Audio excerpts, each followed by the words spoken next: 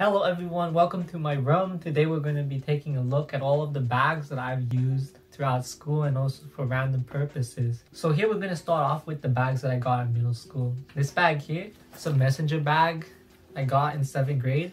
I used it through half of 7th grade, 8th grade, and all the way to 9th grade. I'm really used to using messenger bags. My I always try to carry light. I really like messenger bags like these because if you're like walking around and you need to take something out of your bag, you don't need to like take off the backpack, put it in front of you, put it on the ground to open it, and then get your stuff. You just need to open it and then take it out, and then you can just like keep on walking. It's a water bottle bag.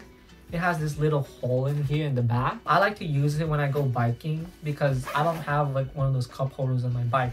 So I have to use this backpack instead. It has a little bit of reflector here on the trimming and it has reflector on the front as well.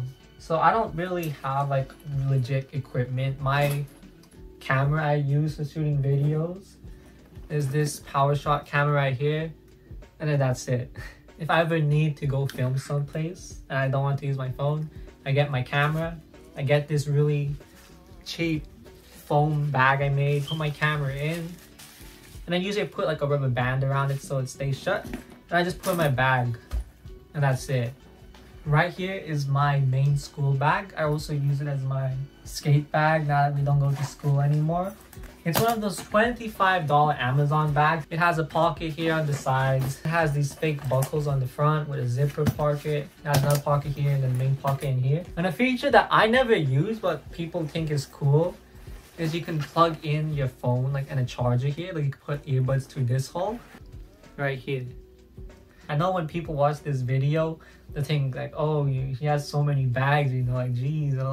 For me, it's not that I have a lot. It's just that I've kept what I've owned. I don't lose it. I know where it goes and I store it. I have my rolling bag. This is the one I used since 4th grade, I think. And then I used it up until 6th grade. I was an odd kid. I used a really big bag. My teacher said it was too big. And then over here, I have the bag I used in 10th grade because my back started hurting from all the heavy books that the teachers make us use.